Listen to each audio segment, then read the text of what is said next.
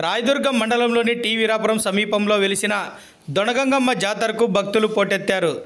సోమవారం ఉదయం నుండే అమ్మవారికి గంగ పూజ అభిషేకం కుంకుమార్చన వస్త్రాలంకరణ పుష్పాలంకరణ చేశారు. ప్రతి ఏడాది శ్రావణ మాసం ముగిసిన మొదటి రోజునే దొనగంగమ్మ జాతరను నిర్వహించడం ఆనవాయితీగా వస్తోంది.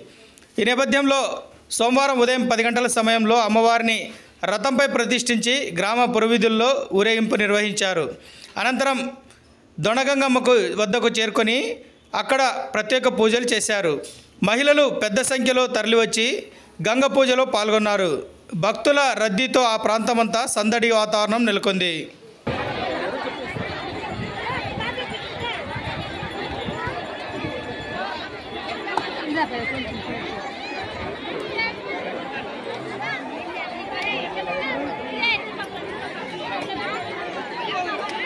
ఇప్పుడే